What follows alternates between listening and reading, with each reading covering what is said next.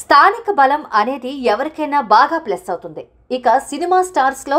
ఇండస్ట్రీకే top star అనిపించుకున్న వాళ్లకు అది బాగా పనిచేస్తుంది ఒకప్పుడు యావరేజ్ బిలో యావరేజ్ సినిమాలు ఇచ్చిన పవన్ కళ్యాణ్కు ఏమాత్రం క్రేజ్ తగ్గలేదు తమిళ్లో విజయ్ కూడా పవన్ లాంటి ఫ్యాన్స్ ఉన్న స్టారే అందుకే అతని సినిమాలు డిజాస్టర్ టాక్ తెచ్చుకున్న కలెక్షన్స్ విషయంలో మాత్రం తగ్గేదే లేదు అన్నట్టుగా ఉంటాయి బట్ ఈసారి బీస్ట్కు మినహాయింపు అంటున్నారు అక్కడి జనం ఈ నెల పదమూడున విడుదలైంది బీస్ట్ రిలీజ్కి ముందే పెద్దగా ప్రమోషన్స్ లేవు సినిమాపై అంచనాలు కూడా పెంచలేకపోయారు ట్రైలర్ కూడా యావరేజ్గానే అనిపించింది అప్పుడే చాలామంది ఈ సినిమాపై సందేహాలు వ్యక్తం చేశారు అవన్నీ నిజమే అని మొదటి ఆటకే తేల్చింది బీస్ట్ తెలుగులో మొదటి రోజే కలెక్షన్స్ డ్రాప్ అయ్యాయి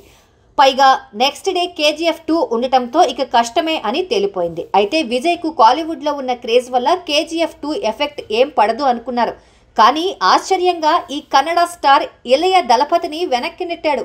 కలెక్షన్స్తోనే కాదు చాలా చోట్ల థియేటర్స్ సగం కూడా ఆక్యుపై కావడం లేదట అందుకే కొన్ని చోట్ల ఏకంగా బీస్ట్ను తీసేసి ట్రిపుల్ ఆర్ను మళ్ళీ వేస్తున్నారని చెబుతున్నారు నిజానికి బీస్ట్ సినిమా అంచనాల మ్యాటర్ ఎలా ఉంచినా సినిమాలో స్టఫ్ ఉంటే ఆటోమేటిక్గా పికప్ అయ్యేది మ్యాటర్ లేనప్పుడు ఏ దళపతైనా బాక్సాఫీస్ వార్లో గెలవడం సాధ్యం కాదు అది మరోసారి ప్రూవ్ అయింది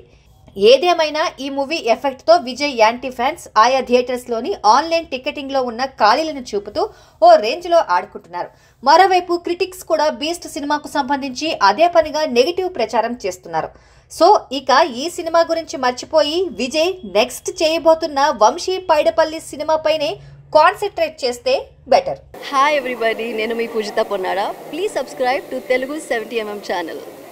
hi నేను Hemanth Mirchi Hemant Please subscribe to Telugu 70mm.